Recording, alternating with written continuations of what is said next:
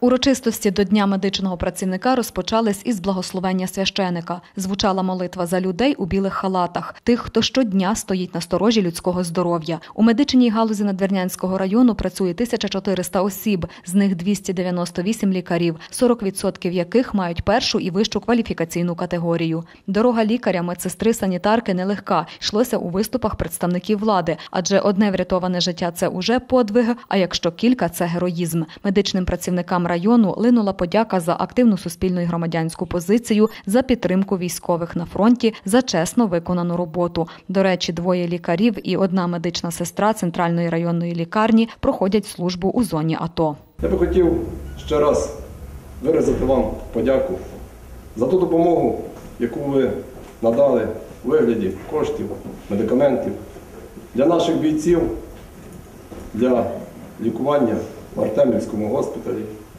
Повірте, коли ми передавали, ми згадували і вас. І напевно у тих ящиках з вашими передачами, лікарськими засобами відчувалося ваше тепло. І ваша позитивна енергетика, яка допомагала нашим бійцям швидше одужати. Дякую вам також за вашу роботу, за ті теплі руки, за ті теплі ваші серця, які ви прикладаєте до хворих, до нужденних. Грамотами районної ради та районної державної адміністрації за сумлінну працю, громадянську позицію із нагоди професійного свята нагородили Василя Монастирецького, Мар'яну Дмитрук, Вікторію Бандуру, Галину Павлів, Марію Крекот. Адресувала привітання медичним працівникам краю і Надвірнянська міська рада. Практично кож- кожна галузь е, в нашій державі перебуває під час певних реформ і змін.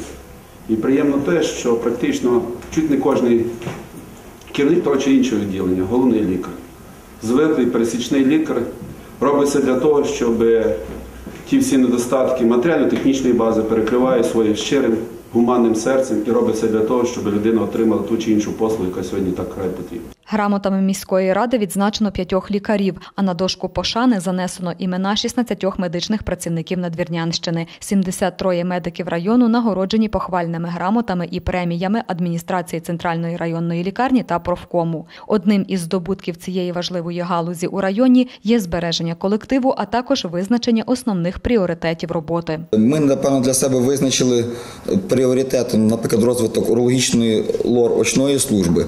На даний момент ми відремонтували повністю відділення і готуємось до нових викликів, які нам буде давати ця реформа. Так само випереджаючи, напевно, не то, що випереджаючи, але ну, визначаючи пріоритети, робимо зараз кардіологічне відділення. До територіальної реформи медицина готова, каже головний лікар, бо вона перша до неї адаптувалась. І три рівні надання медичної допомоги цілком зрозумілі. Кожен знає, що має робити. Будемо закінчувати скоро амбулаторію в селі Заріччя, відкривати амбулаторію в селі Добротів.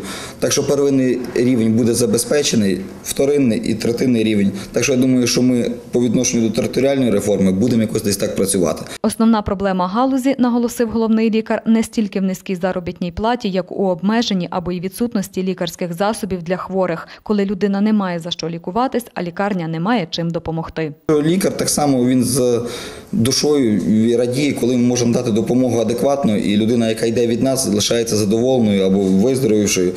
А коли лікар обмежений тільки одною головою працює, а не може підкріпити свої знання десь практично там тим чим лікарствами чи ще якимось. Ну, думаю, це напевно основною проблемою є, яка є. Людина повинна йти на роботу, отримувати моральне задоволення. Ну, якщо ці складові десь виключати, напевно, їй все важче і важче це робиться. Крім лікування, головним завданням медицини залишається профілактика. За офіційною інформацією, кількість людей, які звертаються за допомогою у лікувальний заклад із хворобами у запущеній формі, зростає. З нагоди дня медичного працівника прозвучало побажання і медикам, і пацієнтам дбати про своє здоров'я, жити в гармонії, любові та мирі.